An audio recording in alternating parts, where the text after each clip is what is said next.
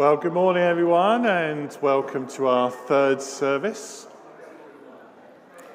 Um, if you're in the foyer and you're planning on joining us, then uh, we're just about to start. And a very warm welcome if you're watching online as well. Now, if you are new to the third service, it's uh, slightly different to the other two. Um, we certainly have a, a more extended time of sung worship together be a relatively short reflection, and today we're thinking about what, what we mean by this idea of being um, filled with the Holy Spirit. We'll look at a range of different ways in which uh, we see that occur in the Bible. Um, and then uh, we'll have a time of ministry, by which we mean waiting on the Lord, asking for the Lord to minister to us and we say those words, Come, Holy Spirit. Um, it's an opportunity if the Lord lays anything on your heart to share with others.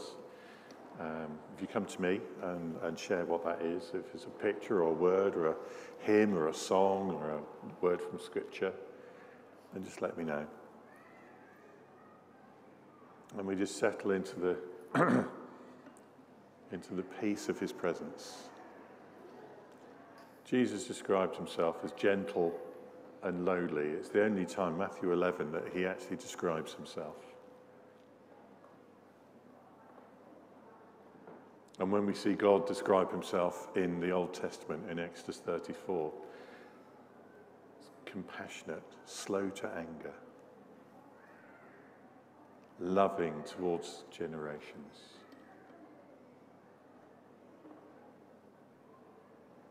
And yet, the Spirit can convict us of our sin as well, can bring us to a place where we can confess before the Lord, and He will forgive us when we repent. So, this is a safe space, it's a gentle, it's a kind space, because that's who God is. And as we pray, Come, Holy Spirit, come and meet with us today. We pray this in Jesus' name. Amen. So good to see you all. We're going to worship the Lord now. Um, if you're able to stand, then I really feel like this is one you might want to stand for. but if you're not, that's fine. Uh, it's all about um, being able to trust God, I guess, and why we're able to trust God.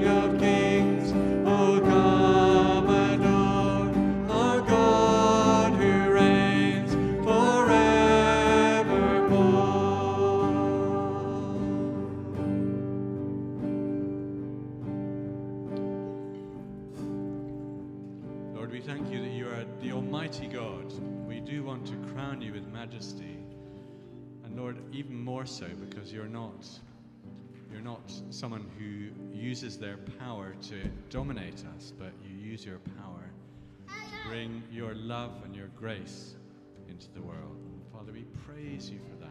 We thank you for that. We thank you that you're a good God, someone who loves us, the God of power, but also a God of love.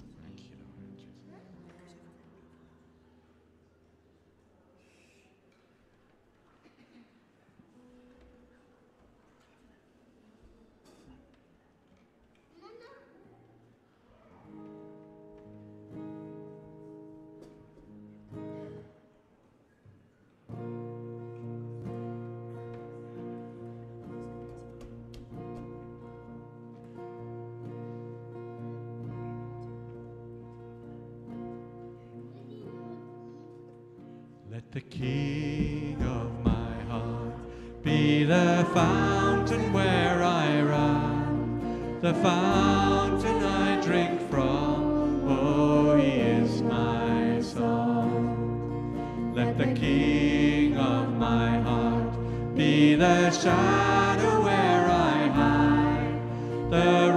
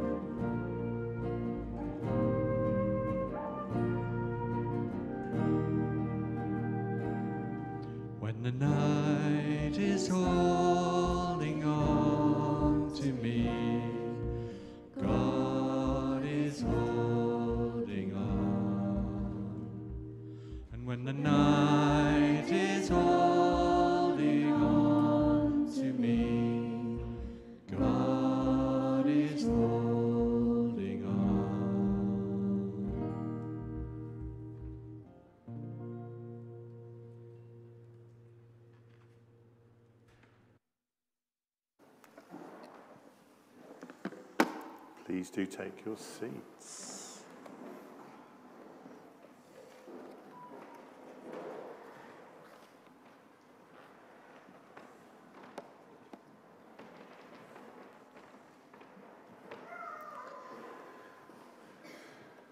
Well, as I said, it was the Alpha Away Day yesterday. Um, if you've done it, you will know a little bit about what's involved. If you haven't, come on the next Alpha course. Um, and you can find out. We're just going to talk a little bit about, in the after, we talk about who the Holy Spirit is, and we talk about uh, what the Holy Spirit does, and then in the afternoon we have the opportunity just to be prayed for, uh, to be filled with the Holy Spirit. Um, and I just wanted to explore that a little today. I'll start with, uh, I've got a number of verses from the New Testament, but I'd like to start with something from the Old Testament, which is 1 Kings 19, um, starting at verse uh, 9, I think. And we find Elijah, he's had his moment on the top of the mountain, and now uh, it's all gone a bit wrong, and he's uh, feeling a bit sorry for himself. It said, And the word of the Lord came to him, What are you doing here, Elijah? He's in a cave at the top of the mountain. He replied, I've been very zealous for the Lord God Almighty. The Israelites have rejected your covenant, broken down your altars, and put your prophets to death with the sword. I am the only one left, and now they're trying to kill me too. The Lord said, Go out and stand on the mountain in the presence of the Lord, for the Lord is about to pass by. Then a great and powerful wind tore the mountains apart and shattered the rocks before the Lord. But the Lord was not in the wind. After the wind, there was an earthquake, but the Lord was not in the earthquake. After the earthquake came a fire, but the Lord was not in the fire. And after the fire came a gentle whisper. When Elijah heard it, he pulled his cloak over his face and went out and stood in the mouth of the cave. Then a voice said to him, What are you doing here, Elijah? In my Curacy parish, there were three churches, and one of them uh, had had had experienced revival, um, which in many ways is the worst thing that can happen to a church. Um, because what happens is it raises expectations about what the Holy Spirit is all about.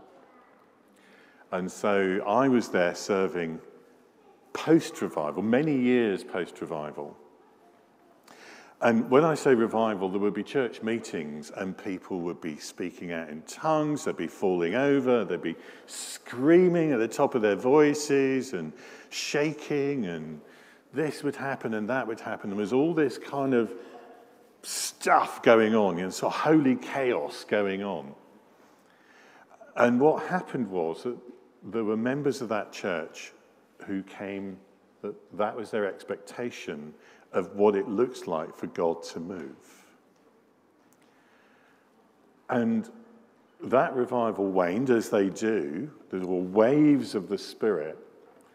And so what I met, excuse me, 10 years later was people who were, had a hangover. They were clinging on to this experiential thing which was whiz and bang and wild and chaotic. It was the earthquake, it was the fire. But actually, what they missed was the God in a small, still whisper. And it was really damaging, actually. And I remember having a conversation. We used to have a job club there, which was basically cup of soup and a sandwich, and anybody could come. And it was a very interesting bunch of people that we used to meet every week. Some would come for a short while, some were long termers, they came every week. And it was very, very simple. And um, one of the people who were the post revivalists was saying, Well, you know, God's just not moving in this church. There's no spirit in this church. And I pointed them to this job club. And I pointed them to one, one person in particular who had run a business in the town. He'd, his business had gone out of business. He was on the dole. And he said to us, if it hadn't been for this Wednesday afternoon lunch, cup of soup lunch, he would probably have killed himself. Don't tell me that the Spirit is not moving in this church, but the Spirit is moving quietly. And so um, I think there's a real, I mean, we, we had the conversation before the, the away day that there's a, a video that uh, David Frost did about, um, about the Alpha Course many years ago. Um, and the, they follow the progress of various people. And there's one person in particular that's always struck me because he was kind of moving in faith and moving in faith. He'd almost made a commitment, or he had made a commitment just before the, the, the weekend away, as it is at Holy Trinity Brompton. And there was a lot of hype about what that weekend was going to be about. And he didn't experience anything. And there was all this stuff going on around him, as it does at Holy Trinity Brompton. And he slid off afterwards. He got to the point of coming to know Jesus and he slid off because it didn't meet his expectation and he didn't see in him what was going on around him. And so I just wanted to, to kind of look at, at scripture to see where it says um, was filled with the Spirit and who was filled with the Spirit and what was going on with and for them. Um, and so I went to that very known, very well known theological resource known as Google um, and came across. Uh, you know, as you know, you can look up all sorts of things. Just a series of, of, of uh, scriptures. So I haven't sort of thumbed through and tried to find them. I just sort of Googled filled with the Holy Spirit, see what it says. So the first one, classically, is Ephesians 5.18. Do not get drunk with wine, for that is dissipation, whatever that means, but be filled with the Spirit. Now, that's not so much about, you know, consumption of alcohol. That's more about be filled with the Spirit, because the word be filled with the Spirit is a continuous process. It's not a one-off. It's not a, a whiz-bang experience. It is continually asking for the Spirit to be in us. We were talking earlier about how walking in step with the Spirit leads us to holiness, which is walking in the way in which God seeks us to do. So that's a continu- it's a continuous thing. But then the next one here is Acts 6 3. Therefore, brethren, I don't know which translation this is, um, select from among you seven men of good reputation, full of spirit and of wisdom, who we may put in charge of this task. Now, this is the, the situation where in the early church, the alms, we, they had everything in common, so people had to give out the alms, and it was felt that one party wasn't getting as much as the other party and whatever. And the, the apostles said, Well, we need to devote ourselves to the teaching so that we can teach you. So we don't have time to do this. Let's have deacons. That's where the phrase deacon comes from. And those deacons will serve at table. and they'll give out the food and they'll give out the money and they'll look after people, they'll pastor people. And what was the qualification? That they had wisdom and they were filled with the Spirit.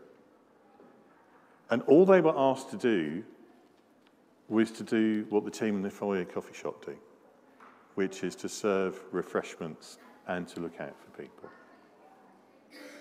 No whiz, no bang, they don't need to go, whoa, here's your coffee. Tea.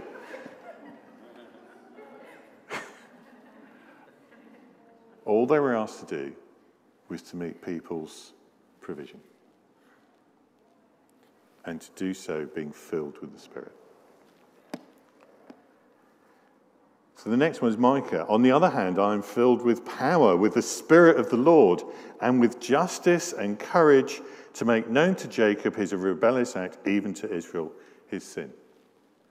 So being filled with the Spirit means either we will be convicted of our own sin or we will be able to guide and counsel those who are walking away from God. It doesn't need to be spectacular, but what it does need to be is faithful. Exodus 31:3 I have filled him with the spirit of God in wisdom in understanding in knowledge and in all kinds of craftsmanship. Anybody on the Alpha course may know the name of this character. What's the name of the character? Bezalel. What was he famous for doing? He was a craftsman who did a, an awful lot of work in, in designing, um, I think it was Solomon's Temple actually, rather than Tabernacle, wasn't it? It was a tabernacle. There you go. He was a craftsman, had a gift to be able to make things, to make beautiful things. He didn't get his chisel and go, whoa! He just got on with it, but did it well for the Lord.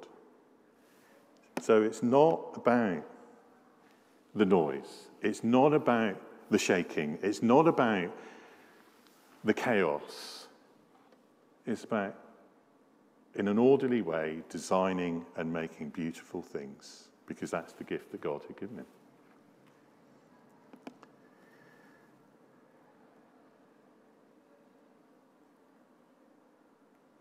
Um, John the Baptist was filled with the Holy Spirit.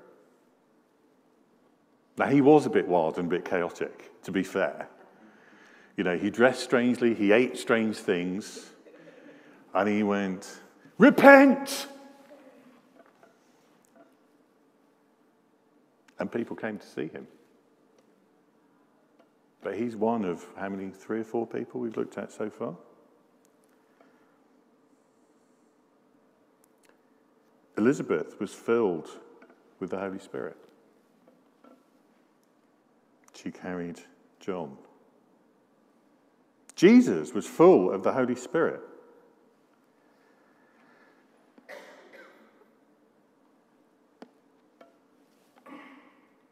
Of course he was.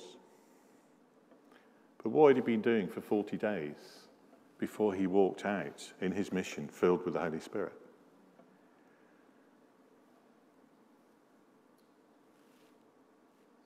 Luke 4. He'd been baptized, the Spirit took him to the, the wilderness. He'd been walking around, spending time with his Father to be filled with the Spirit. He came out and he did miracles and he did this amazing teaching and this wonderful stuff. But he spent time with the Spirit in total isolation and quiet, to be gentle and to be lowly.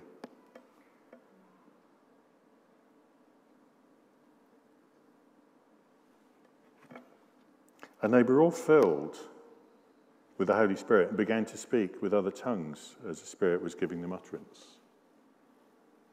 Why on the day of Pentecost did they speak in other tongues? This isn't tongues as in the heavenly language, this is different languages. Why did they do that? There were tongues of fire and there was, you know, there was a wind and that was quite spectacular. I mean, Pentecost, but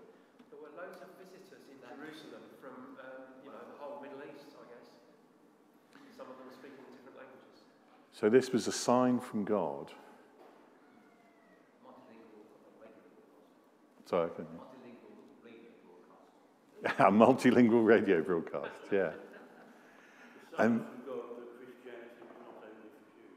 yes, yeah, yeah. So you had a gathering of people from all over the, the known world, and so they were given those those languages, so that we could see in their own language that something from God was going on here.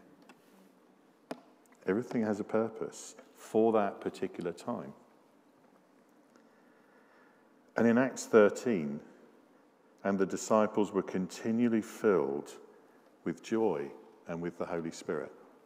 Now, if they were continually filled, that means they were being filled when they were making a cup of tea.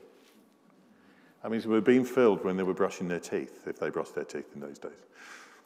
It means they were being filled whatever they were doing. It didn't need to be spectacular.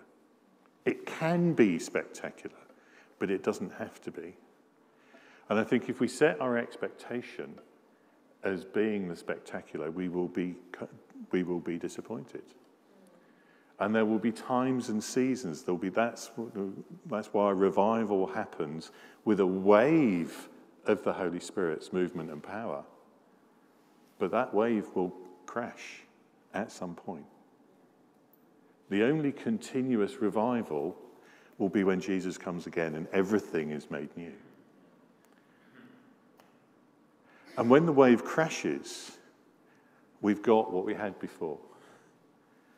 We might have some memories, but we have the being filled with the Holy Spirit while brushing our teeth, making the tea, and serving and loving others. So I offer that to you because, it's, uh, as I say, the Alpha uh, Away Day is a, a classic point at which we can be reminded of these facts that the Holy Spirit works in so many different ways with so many different people. And just because we don't see it in the spectacular doesn't mean it's not happening. It is. So let's pray. Come, Holy Spirit. Come, Holy Spirit. Come, Holy Spirit, today and manage our expectations of you. Let us not speak badly of you because of what we think you ought to be doing, but instead just receive.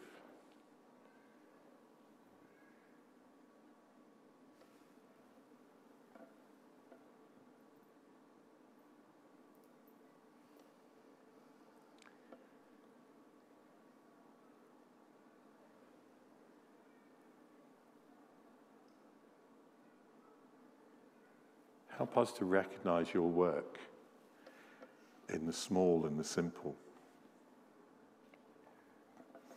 in the love and the patience and the gentleness, the kindness,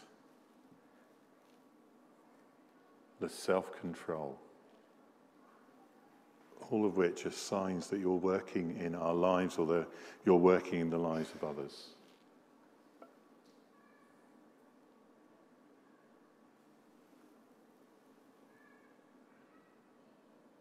Come, Holy Spirit, be that continuous presence in our lives.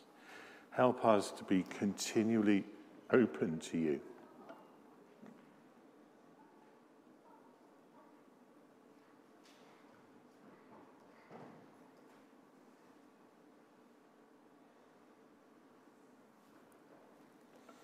And Lord, when you have a task for us that you will equip us for, Help us to be ready to receive and to experience the whiz, the bang, whatever it is that you have to bring us. And help us to be thankful for each and every gift.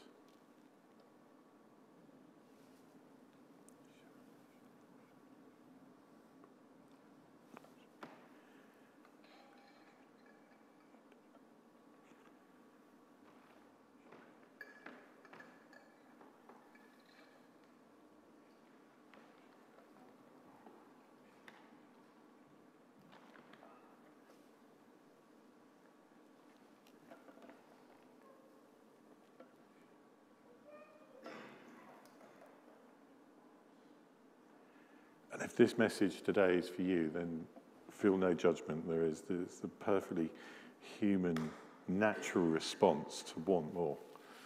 It's good to want more.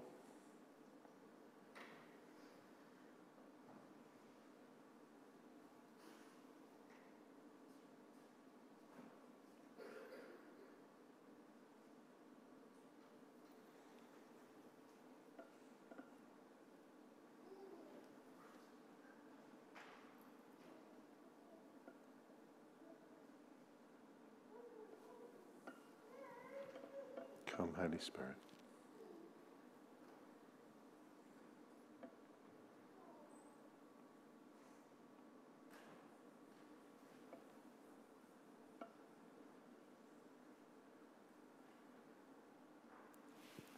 I'll have to invite some music in the background, invite the band up. And maybe we can just stay in that place not only to ask for the Spirit, but to ask for eyes for what the Spirit is doing in us.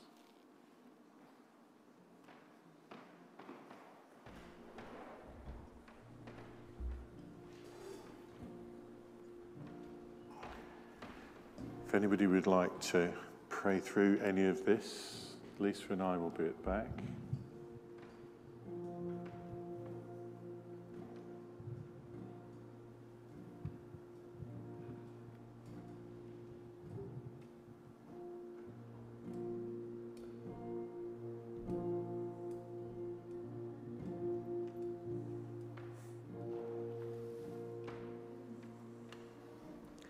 Come, taste and see that the Lord is good. Amen.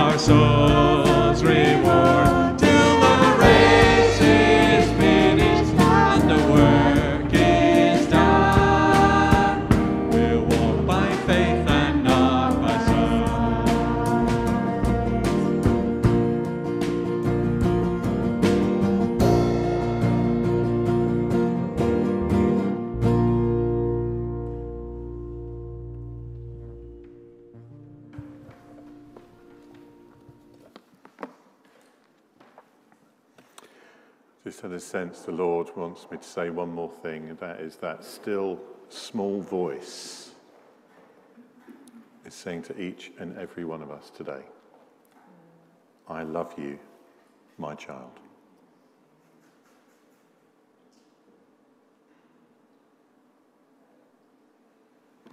May the blessing of God Almighty, the Father, the Son, and the Holy Spirit be with us and remain with us always. Amen. Go in peace to move the chairs for Jude in service of the Lord. See what I did there?